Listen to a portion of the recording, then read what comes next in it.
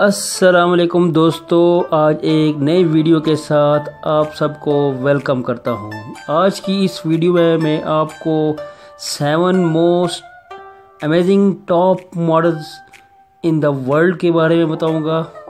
दोस्तों, वीडियो देखने से पहले चैनल को ज़रूर सब्सक्राइब कर लें।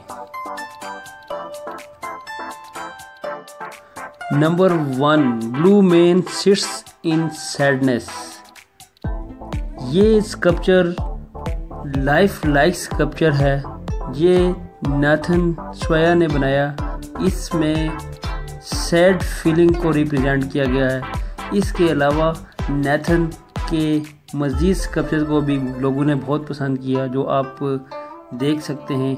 इस स्कल्पचर को बनाने के लिए दो लाख से जायद ब्रिक्स लीगो ब्रिक्स इस्तेमाल की गई। दोस्तों लीगो ब्रिक्स वो होती हैं जो प्लास्टिक और मट्टी के छोटे छोटे पीसेस होते हैं, उससे जो स्कल्पचर बनाए जाते हैं।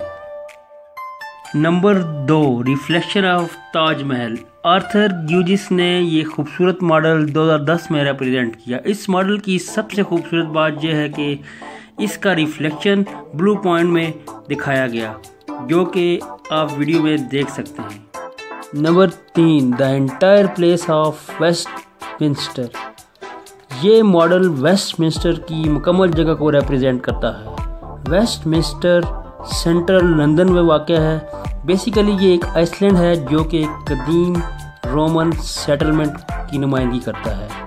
जेमी डॉगलस ने इसे 2017 में तैयार किया। इसको बनाने में तकरीबन 50,000 ईंटों की ज़रूरत पड़ी।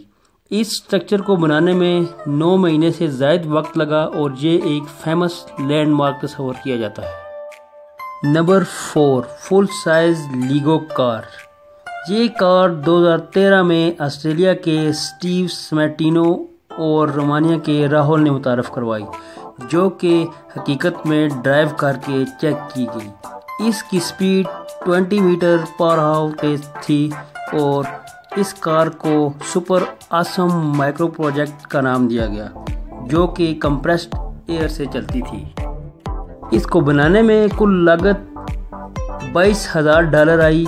इस कार में पाँच लाख से ज़्यादा ब्रिक्स इस्तेमाल की गई, जबकि इसमें नॉन ब्रिक्स एलिमेंट भी इस्तेमाल किए गए। नंबर पाँच, सी मॉन्स्टर। अगर आपको कभी डिस्ने वर्ल्ड का विज़िट करने का मौका मिले तो आप इसे लेक बेवाना विस्टा लेगून में देख सकेंगे। ये फैंटेस्टिक क्रिएशन एक लाख सत्तर हज़ार से ज़ायद ब्रिक्स से तैयार की गई। इसको बनाने में पाँच हज़ार से ज़ायद घंटे लगे।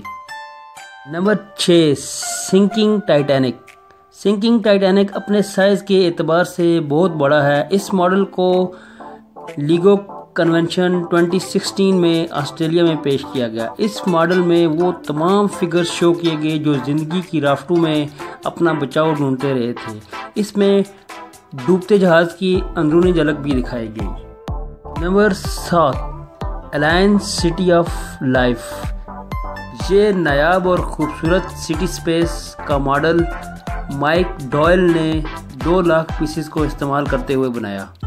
इसका मकसद शहरों की ज़िंदगी को उजागर करना था कि कैसे लोग एक साथ करीब करीब रहकर भी एक दूसरे से दूर होते हैं।